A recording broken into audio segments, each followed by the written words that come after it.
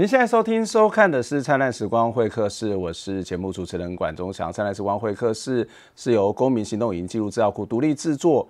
我们透过人物的专访、议题的整理、新闻的回顾，带大家去了解到一些争议性事件背后值得我们要去关注的议题。我们也有 Podcast 频道跟 YouTube 频道，欢迎大家能够订阅、收听跟收看。当然，我们也很期待透过您可以透过捐款的方式来支持我们所做的报道以及专访，让我们的独立媒体可以走得更远、走走得更好。那今天在节目当中，你可能看到这个画面，应该会觉得很压抑。哇，终于没有再用视讯了，所以今天声音听起来可能会好一点吧？没有错，因为今天我们终于脱离了网络，而到一个实体的空间。因为在今天在我们节目当中呢，要来跟大家介绍一本书，这本书的名字叫做《失去青春的孩子：没法见叫声的圆梦与睡梦》。今天来宾就是这本书的作者涂小蝶，来跟我们一起谈这一本书。小蝶你好，老师好，大家好。对，谢谢你让我们你现身了，让我们在这个节目的时候终于脱离了两年的网络，因为有时候就是因为刚好疫情来了，然后我们就习惯，然后最最重要是节省成本，要不然每次我们到每个地方去花的时间成本、经济成本其实也都蛮高的，所以诶，谢谢你到中正大学来，让我们有机会来来谈这本书。那这本书其实我非常喜欢。这其实我已经列入我明年上课要读的一个教材，因为呃，我以前都是读那个呃血汗超商，因为我觉得血汗超商这本书让我很喜欢的地方是，他谈到那个呃，其实很政治经济学一个结构历史，然后回到那个个体的身上，然后。呃，虽然个体回应那个结构其实谈的相对之下比较少，可是你可以看到那个整个的一个一个经济成呃经济发展的脉络以及作用到一个小的个体的身上。那你这本书其实不只是有这个大的结构性的分析，你也回到了那个个体怎么去回应那个大的架构那个制度。我觉得呃非常好看的，就是这部片如果这这本书如果有机会拍成纪录片的话，应该会是一个非常非常精彩的。生命的故事，以及一个大的台湾产业发展历史，或者一个现代发展的一个过程哦。那不过这本书的名字其实听起来有点悲伤，叫做《失去青春的孩子》。每个人青春只有一次，但是如果失去的话，他还有什么呢？为什么你当时会写这本书？而这本书事实上是来自于你的硕士论文。这是什么样的缘由、什么样的一个原因，让你写这一本书，而且还取了这样的一个《失去青春的孩子》这个书名？嗯，其实一开始会关心到呃建教合作，尤其是美法建教合作，最主要的一个原因是我有我的家人有人是美法建教生这样子。那呃，他其实，在作为建教生以后啊，我觉得他生命经验跟我有很大的不一样。怎么说呢？那呃，我们其实都不是家庭非常富裕的孩子。然后我印象当中是，假如我想要为家庭节省一些经济的负担，我觉得我心里想到可以努力的方向就是。很努力、很努力的念书，然后不要考上私立的学校，因为学费很贵。对。那表妹当时就是呃跟我分享她接下来要做什么呃学徒的选择的时候，她跟我说她想要去念高职，因为高职可以学一技之长。那重要的事情是她想要半工半读，这样子可以减轻家里的经济负担。那这件事情后来是在他国中毕业以后念大呃念高中高职的过程当中，两个月的暑假，他就开始要去实践他想要做的事情。但是他去外面找很多攻读，发现因为那个时候国中毕业大概十五岁十六岁左右，在外面找不到什么攻读。我印象当中，我大学十八岁要去呃要去素食店打工的时候，时薪大概七十二块，然后。也很难找到哎，大家就是会一直很怀疑说，哎，你到底可以做多久啊？等等的，所以我们更可以想见，当时呃表妹她去外面十五岁想要找工作是一件多么困难的事情。那后来她找到了这个攻读机会，这个攻读机会出现在法廊里面，嗯那他就去里面做一些助理的工作，那在里面就认识了在里面做实习的尖叫声。所以那时候还不是尖叫声，他只是去打工，然后刚好认识了尖叫声。对，然后那他也透过这些尖叫声的呃。的经验认识了建教合作，后来他就跟我们说：“哎，他想要念建教，所以他是自己自愿跑去了那个读建教合作。对他就是自己去了建教合作。那后来他去做建教合作了以后，他的生命经验跟我很不一样，包括他很多时间都在实习，嗯，然后早上九点上班，然后晚上九点才下班，然后呢，呃，开始化妆了。”开始蹬高跟鞋了，这些样子其外貌也都不同，都不一样了。那这其实对我来讲是一个很大人的因为。你还是一个青春的小女孩，对我还是慢慢的一个一个社会化成熟的样貌了。对，那甚至一开始学化妆都是表妹教的。然后，嗯，我印象一个很重要的事件是有一年的除夕夜，然后大家都回家了，可是表妹没回来。嗯那因为其实，在美发产业来说，就是过年大家都想要顶一个新的头发，对所以他们其实是最辛苦的时候。那就听到舅妈说，哦，她就是在加班，那要结束店里的工作之后才可以回来聚餐。这件事情对我的影响有点大，我觉得有点冲击，想说他是做什么啊？就是呃，为什么他是一个学生的身份，然后十五到十八岁的年纪，但是大家里的大人都回来吃饭了，他还在发廊工作。嗯嗯那其实我跟表妹的关系很好，然后以前我还记得那个时候，不知道现在还流不流行离子烫。当时他们要做技术，就是要去确认技术好不好的时候。所以你就是他的我是他的实验品法模这样子，对。然后，嗯，跟他聊天的过程，有一次我就记得我们一起经过一个发廊，我就问他说：“哎、再给你一次机会，你要不要选择做尖叫声？”他。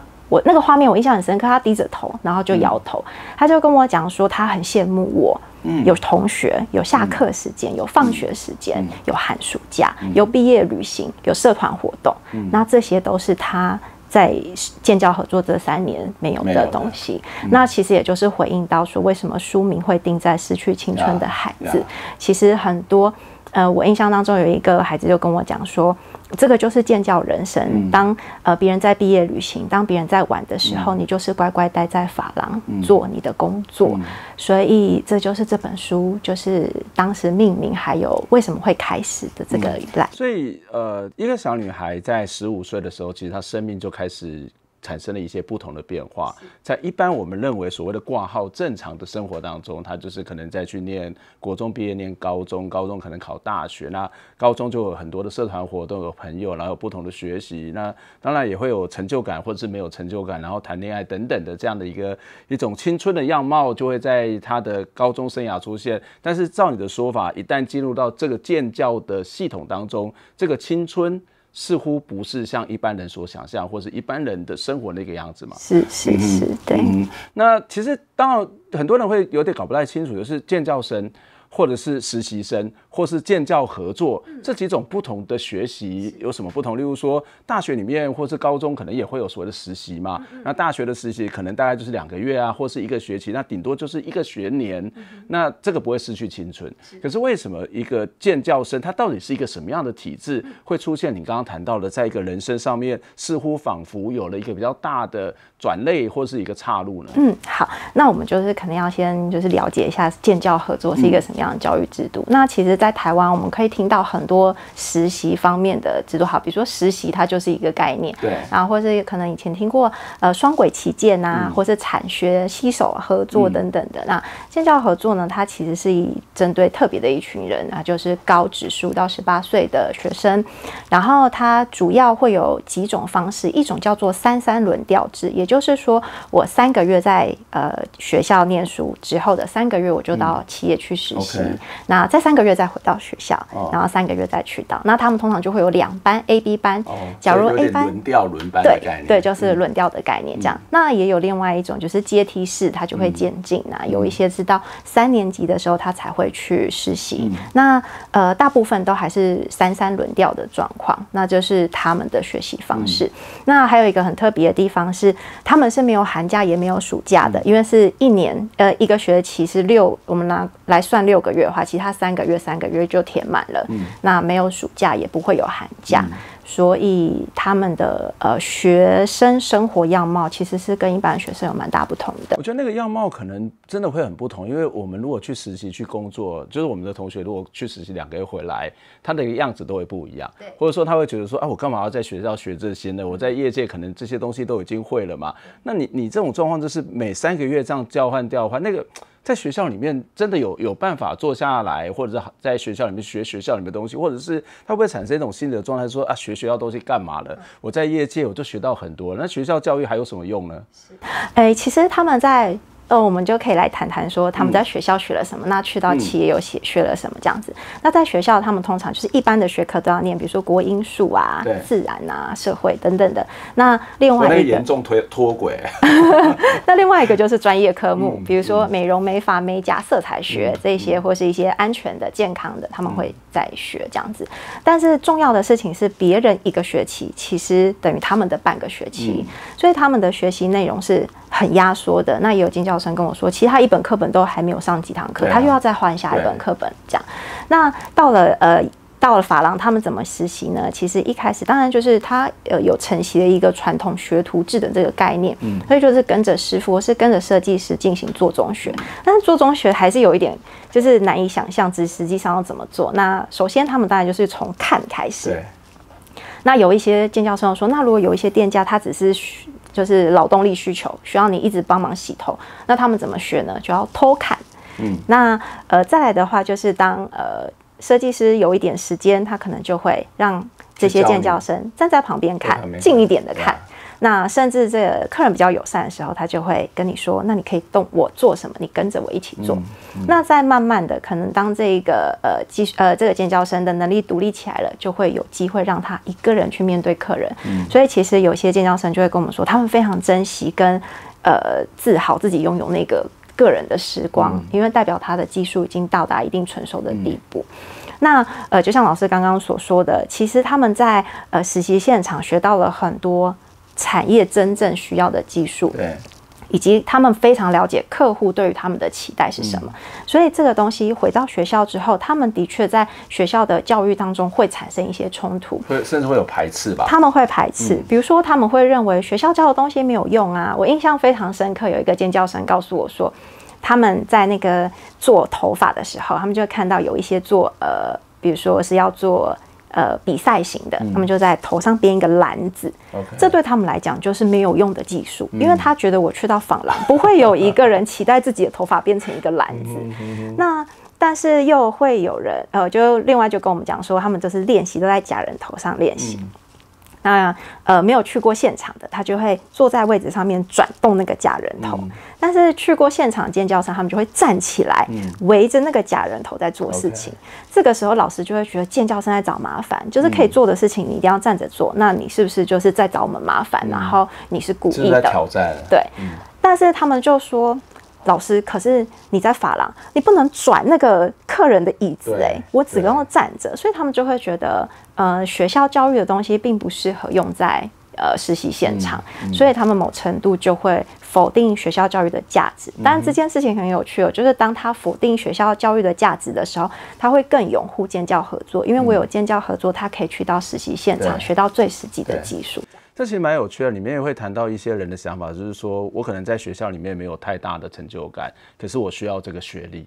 我在学校里面学到东西可能没有什么用，可是我需要这个学历，因为这个社会是需要这个学历的。所以在某种程度上面，就是哎，好像。没什么用，但是又有一种有用的东西在里头。你刚刚也提到一个现象，就是在建教生的这个实习的现场，呃，可能有人就是在旁边看，有人可能就是洗头，有人可能就是有点偶尔会学到一些设计的技巧，有时候会跟客人互动。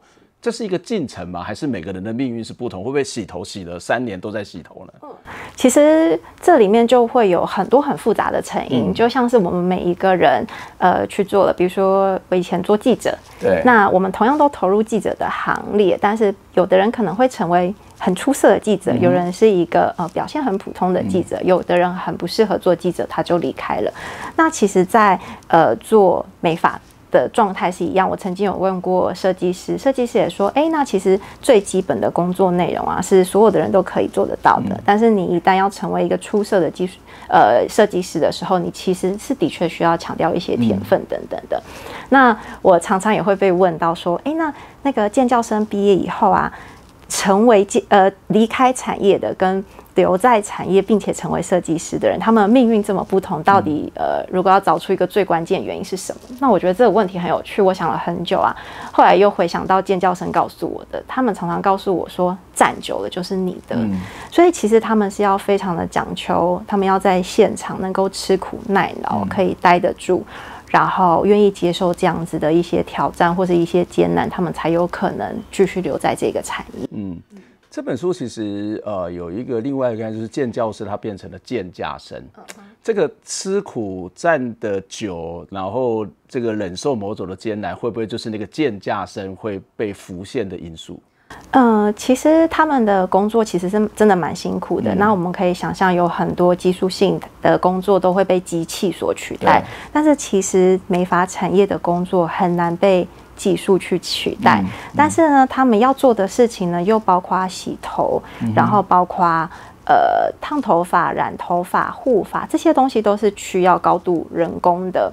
那呃，反映在他们的劳动条件上面会有什么样子的辛苦之处呢？包括他们需要长时间的待在这个呃环境工作环境里面。那他需要长时间待在这个工工作环境里面，又有一个很大原因，是因为他们的。呃，在我的研究是二零零八年到二零一三年这一段时间去做的田野，那当时呢，主要都是用呃计件制的方式在算他们的薪水，所以在这样子的情况下，他们待在呃店里的时间越长，他们就有机会遇到越多的客人，这就会造成他们的工时是比较长的。再来第二个，就是因为他们是呃计件制的，然后呃。薪水是用点数去计算的。当时的尖叫声告诉我，他们呃一个月可以领到的生活津贴，因为他们在当时的劳基法规定底下，他们属于技术生专章在规范的，并不是一般的劳工。那他们所领到的薪资其实叫做生活津贴，大概是九千块钱到一千一万三千块钱不等不等对一个月。那这个数据资料大概是在二零一三年左右的还有效的。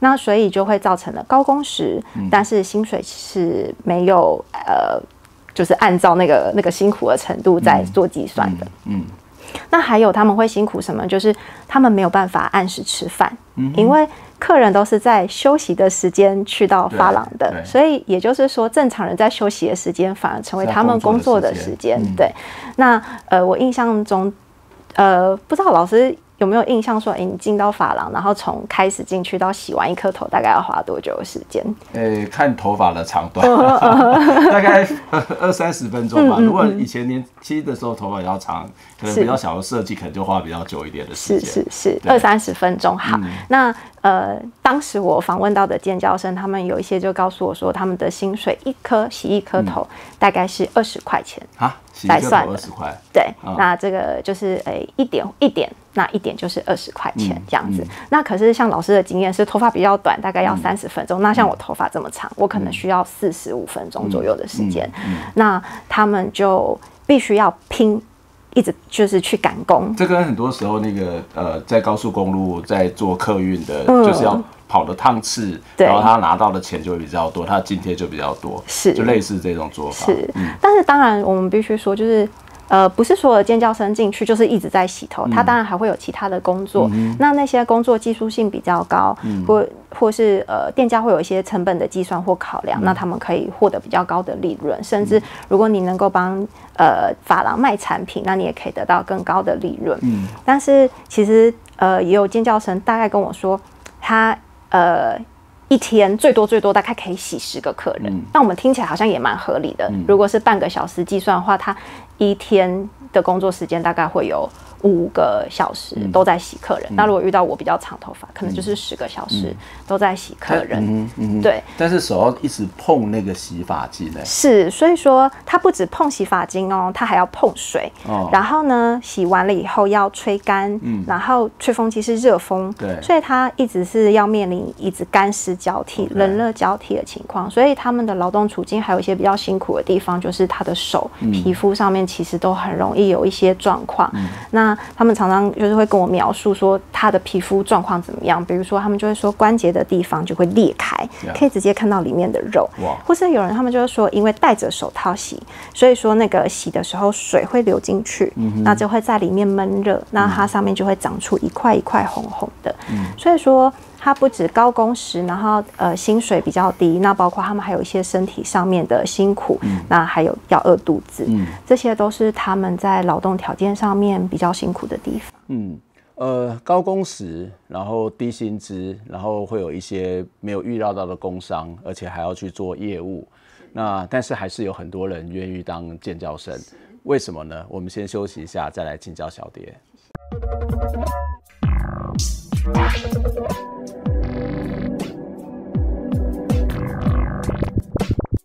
呃，曾经有一段时间，我非常把眼睛放在他们所呃遭受的不平等待遇上面。可是后来，我在更进一步跟他们做更多的呃交流，以及我自己的反思以后，我发现就是，呃，其实他的理解跟我的理解是不完全一致的。说，比如说，呃，我们会认为说，呃，他在里面失去了很多。可是他其实眼光不只看到他自己失去的东西，他也看到了他得到的很多东西。然后就我们来讲，我们可能会觉得，呃，他是去实习的角色，所以说他是受益的人。那呃，企业是施施予者，给他们一个机会，给他们一些经济的支持，然后教会他们一些技术。但是其实这个施受关系呀，在建教生的眼里。是交换关系，嗯，也就是说，他把他们跟业者之间拉到一个平等的地位。嗯，我不是你，你是给予的人，我是在下面就是拿拿到东西的人。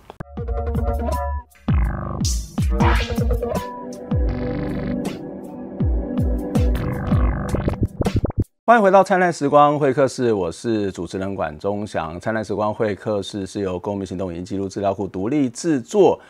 非常欢迎大家能够发转发或者是分享我们所做的各式各样的报道以及人物的专访，也期待大家可以透过捐款的方式来支持公库的运作，让独立媒体可以成为真正的独立媒体，做更多、更深入、更好的报道。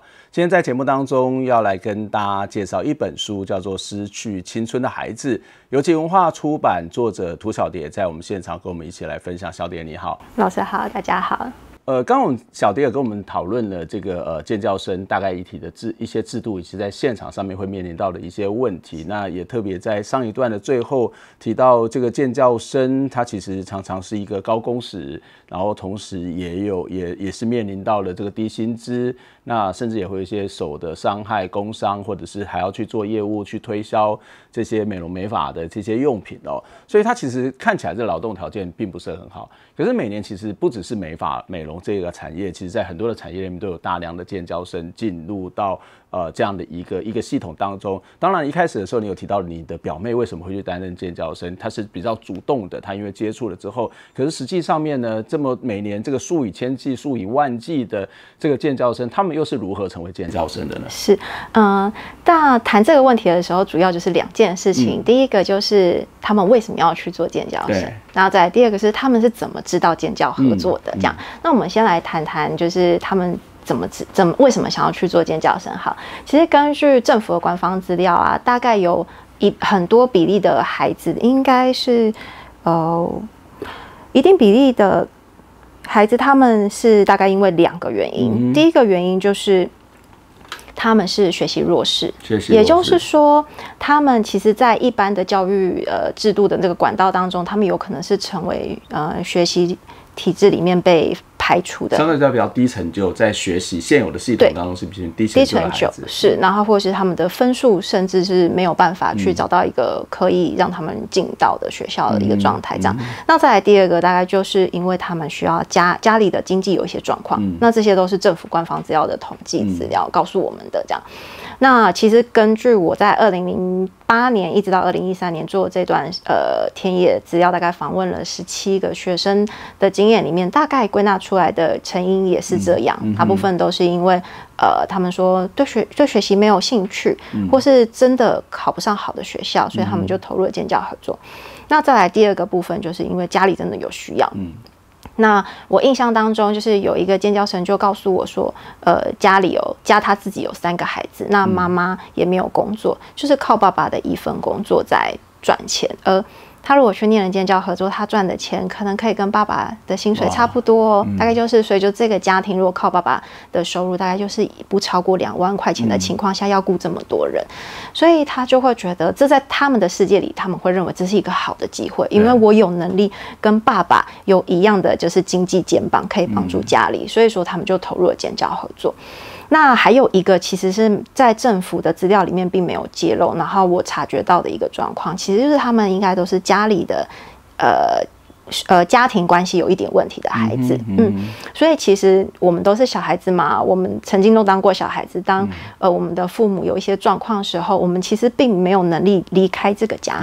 可是建教合作第一个最重要的事情是，他提供这个孩子一个经济的来源，那可以帮助他们有能力离开那个呃。他们认为原生有一点问题的原生家庭这样子，所以他们大概会是这样子的原因去到了建教合作。嗯，那当然就是我们要去到建教合作之前，我们要先知道世界上有建教合作。那他们怎么知道呢？其实大概在国中三年级毕业之前呢，呃。学校就是这些建教合作学校，或是建教合作的一些企业，他们就会去到呃国呃国中去，然后去做一些宣传，其实招生，对，会去招生。然后其实那个概念就有点像是就业博览会的那个概念。我们以前大学快要毕业的时候，毕业季也会有很多企业进来这样子。那他们的招生方式大概有几种，一种就是教就业博览会的方式，那另外一种就是招会的形式，大家在大礼堂上面听大家说明。我看你的书有没有觉得。哇，好像直销大会这样子，非常精彩。每个每个人的话术都很强，哎，是。那他还有一个就是进到学校里面，像以前我们可能选优良学生会去到里面做宣传，大概是这三种形式。那他们讲什么呢？其实，呃，我归纳出来，我就会说他们会说三有一进一出。什么是三有呢？他会告诉这些孩子说。诶，你进来有钱可以拿，再来呢，你有文凭，我还会再帮助你考到你该要有的技术证照。然后还有一个是有什么？有钱，呃，有一技之长。嗯，好，那一进一出又是什么呢？就是因为他们通常会。呃，尖教合作有很多南生北送，或是东升西送的状况。那他们其实就是会去到一些城市以外的地方去找做招生。嗯那他们会告诉他们说：“你们来到大城市，这里有最新的技术，有最好的呃最好的老师，就是一个很现代、很光鲜的想象。”对，那呃就是会吸引他们来到大城市。那有一些呃企业甚至会告诉他们说，他们在呃希望可以。带孩子出国，或是说从外面引进呃有专业的国外的专业人士进来学校授课，那大概就是呃这些东西去。跟孩子说来吧，来吧，来加入建教合作吧。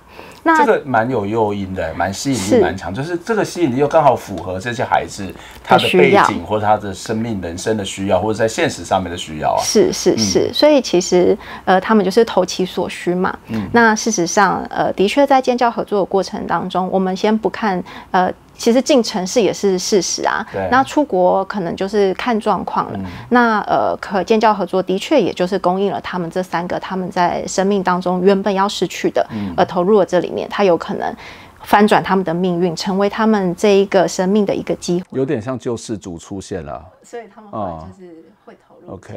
嗯。但是其实依照你刚才的说法，就是呃，虽然他抱了这么大的期望，而实际上面他也会拿到一点钱。那可是，在他的这种呃实习的过程当中，或者是当他毕业的过程当中，他可能也失去了他的青春，甚至可能失去了他的健康，或者甚至他可能一直处在一种洗头洗不完的那种状态里面。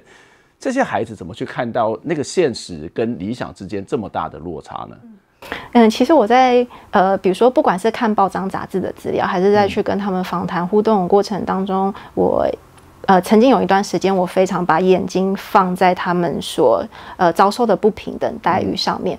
可是后来我在更进一步跟他们做更多的呃交流，以及我自己的反思以后，我发现就是呃，其实他的理解跟我的理解是不完全一致的。说，比如说呃，我们会认为说呃。他在里面失去了很多，可是他其实眼光不只看到他自己失去的东西，他也看到了他得到的很多东西。然后就我们来讲，我们可能会觉得，呃，他是去实习的角色，所以说他是受益的人。那呃，企业是施施予者，给他们一个机会，给他们一些经济的支持，然后教会他们一些技术。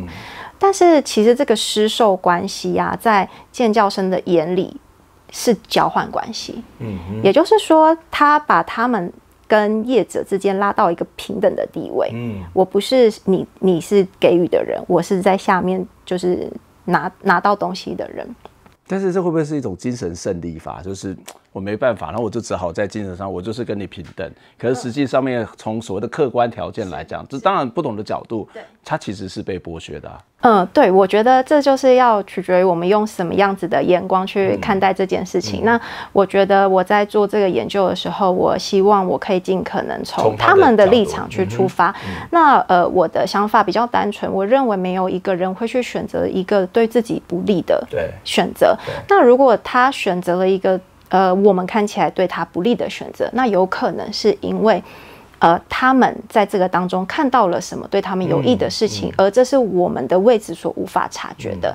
举例来说，他们呃会很引以为傲的是，他们跟一般生有很大的不同，因为一般的学生他们三年都坐在学校里面对着假人头，可是他们三年有一点五年的时间去到了企业实习，面对真实的面对真实的客人，也是人跟人生都是对，然后所以他们会觉得他们。比这些呃正规班的学生略胜一筹，而且他们毕业即就业。嗯，那这是两，这是这是其中。而且他们在社会历练或是人际网络的这种呃关系的建立上面，其实也会比较强嘛。对对对，会比较强。然后再来的话，就是我们刚刚有提到，就是交换关系，他会认为说我付出我的劳动力没有错，然后我换取了我要的东西，而不是你给我你。你施施舍一个什么东西给我，所以我必须要为你做所有你认为我应该要为你做的服务。我觉得这在观点上面是有很大的不同的，对。这的确哦，就是这本论文应该，呃，不是论文是书，虽然它是改编自己的论文。我觉得好看的地方就是每一个人他都是你访问了十几个孩子，那呃，当然里面没有所有人都写出来，可是每个人都是一个独立的个体，然后都是一个个别的主体，然后他们在面对这样一个结构性的问题，其实我们会看到人是有能力跟有力量的，比较不是一种所谓由上而下这种把这些人都框建住。那虽然我们的角度每个人的角度会不同，每个人看法不同，但是不能够否认人。是有这个能动性的，在这样的一个。甚至可能会是一种所谓的被剥削的过程，但是会不会有人会觉得说啊，对啊，有能动性，可是体制就是这样子啊啊，反正你们就我们这体制是你再怎么能动性，你还是被我剥削，他还是很开心啊，这个体制还是很开心，会不会出现这种结果呢？我觉得我们就是常常在在讨论一件事情，就是到底是行动者有能力，还是结构的力量最大这样子。那我们呃，我并没有选择就是站在行动者这边，还是站在结构这面，当然我们试图想要做的。的一件事情就是，当我们呃看见行动者的能动性的同时，不要忘记就是结构的力量作用在他们的身上。当我们看见结构对他们造成的限制的时候，我们不要忘记，其实行动者在里面是能够做一些事情的。那再来就是呃，我印象比较深刻的是，他们其实呃。他们的薪水或是他们的劳动条件，他们会去跟他的生活周遭的人比较，比如说像那个家里有三个孩子，他会跟他的爸爸做比较，然后或是说他们其实也会跟设计师做比较。那再来的话就是呃，他们。我记得他们常常会跟我说，我问他们劳基法的事情，嗯，那可能就是我假设他们不懂劳基法，所以他们不知道他们被保障，或是他们的呃什么叫做最呃基本工资的概念这样子，那他们就回我啊，跟我说这些新闻上面都有报，嗯，意思是我不是不知道，他就说，可是呃这个社会里面有多少人被劳基法保障了，嗯，然后或是说呃大家遇到不平等的事情的时候，大家都真的。去行动了吗？嗯，其实事实上，在整个呃劳动的环境里面，好像不行动的劳劳动者是多于行动的劳动者的，是。然后再加上他们是一群孩子，十五到十八岁的孩子。假如我们的成人世界都难以去。呃，面对这样子的状况，然后去争取我们的劳动权益的话，我们可能对于孩子来讲，这件事情又是更难的事情。但是他们又不是不看见，他们都知道这些法令规范，他们知道业主在他们身上做什么事情，所以他们可能会做一些对抗，比如说，就呃有一个。有一个尖叫声，他们就趁老板娘不在的时候，偷偷回店里去翻老板娘是怎么算他的薪水的，就发现老板娘没有算对，可是他也不敢直接去跟老板娘说，因为他说了就代表他去偷看了嘛。对，所以他们其实是有意识的。我觉得在他们身上看到很多劳动意识展现这件事情是很特别、很有趣的事情。其实这也是我常跟同学在讨论说，其实有时候那种反抗是需要练习，然后是要很小的细节当中，而不是一定是那种集结式的大的对抗、大的 fighting。fighting，在很多东西它事实上是有可能性。其实你的书里面有提到一两个人，他们其实是有在做 fighting 这件事情，是是可以是。讲一下这两个人的故事嗯？呃，像其中有一个就是印象大概最深刻的一个就是小叶的故嗯，事。对，小叶，那他其实就是，呃，在过程当中，他就是遭遇了一些不平等的对待。那他当时是希望可以回到学校去，嗯但是因为学校并没有重视他的这个状况，所以他就休学了。他休学了以后呢？嗯，或许他在休学之前，他就开始采集资料，然后他去详读了很多法令了之后，他就发现，哎，其实有很多东西都不符合规范，嗯所以他就反抗了。然后他就是也找到一些老犬的团体，嗯然后去要求他们寻要寻求他们的帮助，这样子。嗯那最后呢，他获得胜利了。可是他也离开那个学校了，所以你说他是不是真的胜利？就是还是看什么角度去对看、啊，我们怎么去嗯看待这件事情。可是我们可以看得出来，啊，然后他会回去去跟他的同事或者同学做 check，说你们现在的。呃，条件有变好了吗？嗯那我们不能小看这件事情哦。其实它是一个会扩散的。当呃有人知道原来寻求这种方法可以拿回那些被人家夺取走的东西的时候，他们就会开始有一些劳动意识。嗯。那我还有印象非常深刻的另外一个呃小小韩，他就是告诉我说，其实他原本没有劳动意识，嗯。但是他后来他的学妹进来后，就去跟呃店家说，你违反劳基法，劳基法规定我应该要有多少薪水但你没有给我。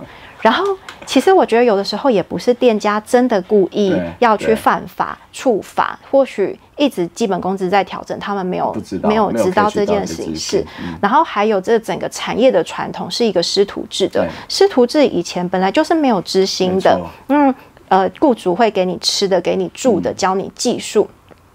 那在这样的情况下，他的那个传统的概念里是没有这些，就是我们现在劳资关系的一些概念。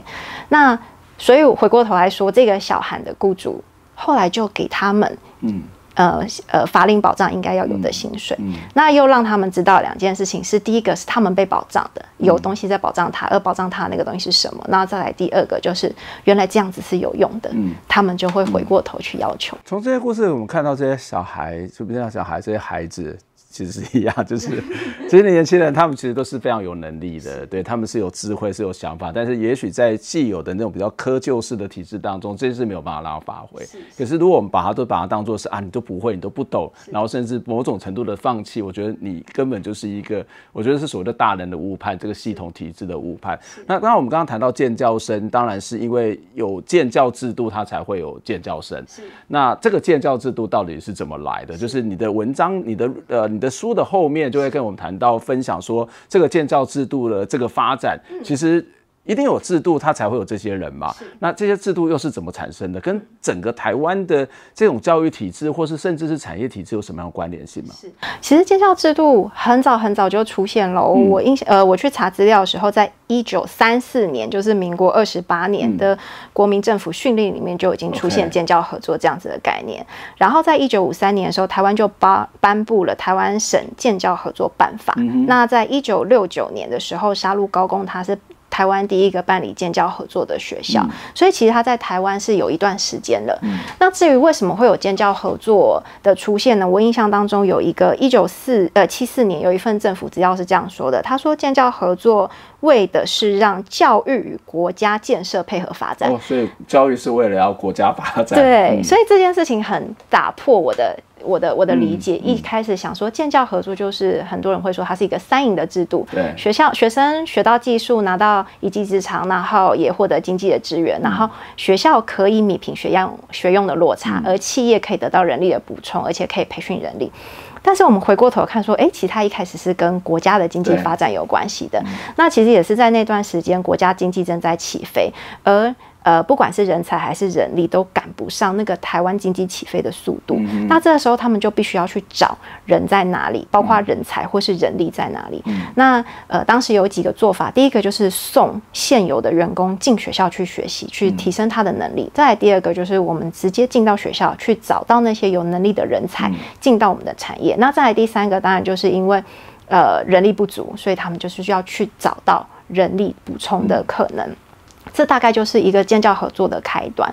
那其实意思就是说，建教合作它一开始作为一个教育制度，它不是纯然的教育，它是带有经济的思维跟概念是有关的。是，所以说衍生到后来，我们在看整个建教合作运作的时候，不免都会出现一些企业的角色或是经济的概念在这个里面。嗯，你这本论文写了呃五年，呃，论文写了。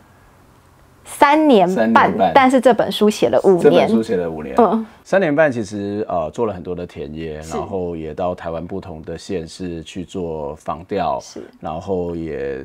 你的书里面提到搭了很多不同的交通工具，是对，也认识了很多的人。我很喜欢问的一件事情就是写完这一本书，写完这本论文，哦，这本论文还有得到了是当年的这个台湾社会学会的这个呃论文奖。是那写了一本论文之后，我就喜欢问的是，呃，你在这里面得到了什么东西？对自己有什么改变？因为这个论文的初衷是来自于你的表妹，你看你的表妹那。从现在开始，或写完之后，对你的表妹的看法有什么不一样？对自己的看法有什么不一样吗？是，其实就是我觉得以前在做研究的时候，最常会被人家问的两个问题，大概就是你的研究发现是什么，还有你的研究贡献是什么这样子。但是我每次回看我这段经历，我认为就是呃，我的研究发现跟研究贡献都是从别人那边作用到我自己身上的，而不是我作用到这个制度，还是我作用到这些行动者的身上。那我印象最深刻的一件事情是那时候我跟着。大家去招生，然后大家都在一个空间里面，他们就跟我聊天，就问我说：“哎，你几岁？”我就跟他说：“我二十四岁。”他们说：“哦，那你生小孩了吗？”然后我就想说：“哦，原来在你们的观念里，二十四岁应该生小孩。”我就跟他说：“我没有生小孩。”他说：“那你结婚了吧？”说：“嗯，我也还没结婚。”他就说：“哦，那你有男朋友吧？”我说：“哦，我有男朋友。”他们就。呃，尽快的离开了这个话题。那去到第二个话题，他开始问说：“那那你现在在做什么？”我说：“嗯，我现在在念书，在念研究所。”他就说：“啊，那研研究所又是一个很就是不理解的词，所以就说啊，那那你在哪里念研究所啊？”我说：“清大。”然后他们就哦，清大啊，不知道怎么接说啊。那那清大在哪里？刚刚说新竹哦，快快快，他们就赶快再跳过这个话题了。那其实这个对谈对我来讲的影响很深，就是我发现其实我认识的这个世界跟他们认识的世界其实是不一样的。那我是不是带着我的认识去认识他们的世界，会发生一点问题？那我后来就。